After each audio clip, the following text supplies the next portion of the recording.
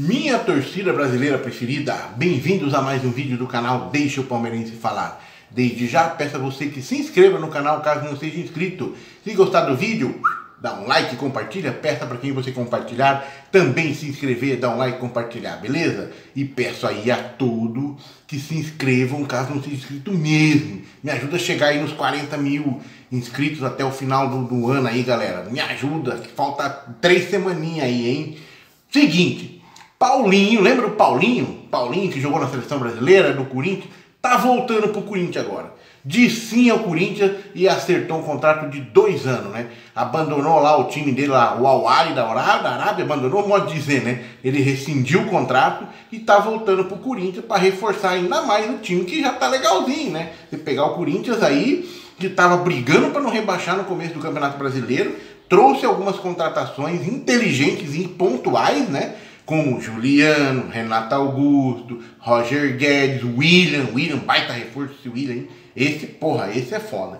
E aí agora o Paulinho, que fez muito sucesso numa época aí no Corinthians, na própria seleção brasileira, né? Voltando aí para o Corinthians para 2022 e 2023. Eu acho que é uma grande aquisição do Corinthians aí, que vai jogar agora, né, contra o Juventude, com essa conversa aí de que vai receber incentivo, não sei o quê, né? E aí, estranhamente, vai com o time todo titular, né, 100% titular lá. Silvinho tá levando todo o time para jogar contra o Juventude, para tentar aí, de repente, não rebaixar o Grêmio, né? Eu duvido que eu acho que os corintianos é, teriam vão jogar por isso, né? Porque o Corinthians é muito grande e os jogadores do Corinthians não é possível que vai se, se render a isso, né? Fica estranho, né? É feio, né? Mas é foda, né? Um time que tá contratando Paulinho, né? 33 anos, jogador zaço, né? Jogava muito bem ali no meio campo, jogou bem, né? era titular da seleção brasileira e tá no Corinthians. Né? Mais um reforço de peso pro Corinthians aí pra jogar o ano que vem a Libertadores, né? O Corinthians que conseguiu chegar aí na fase de grupo da Libertadores, né? Um time que tava brigando pelo rebaixamento, né? Então, parabéns aí à diretoria do Corinthians, que com certeza não se não se apequenou, né, diante da, da, da, situação que todo mundo estava falando, que o Corinthians não tinha dinheiro, não pagava salário, não sei o quê, e os caras estão agindo ao contrário de que todo mundo achava que eles iam fazer, né? Que muito repórter aí, muita gente criticando, achando que o Corinthians vai cruzeirar, e não sei o que. Eu duvido muito porque o tamanho do Corinthians, velho, o time é, é, a torcida que tem é enorme, não tem como o cara cruzeirar, não é possível, velho,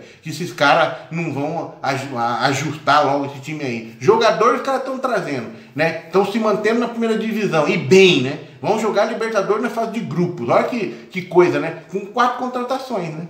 Um quatro que fizeram, né? Agora, mas o Paulinho com certeza vai vir mais aí e o Corinthians vai forte aí o ano que vem na Libertadores, Campeonato Brasileiro e Paulistão, né? E Copa do Brasil, né? Vamos ver, né? Vai ser boa a temporada ano que vem, né? Corinthians reforçado, Flamengo aí com um novo técnico, vamos aguardar quem que seja, né? O Palmeiras também se reforçando, Atlético Mineiro já forte, né? Então vamos ter um ótimo brasileirão aí, um ótimo futebol brasileiro para 2022. É esta a expectativa, né? Vamos aguardar. Beleza, galera? Me ajuda aí dando like aí, compartilhando o vídeo, me ajuda aí, ó, se inscrevendo, sininho. Vamos chegar nos 40 mil aí, galera. Valeu? Até mais.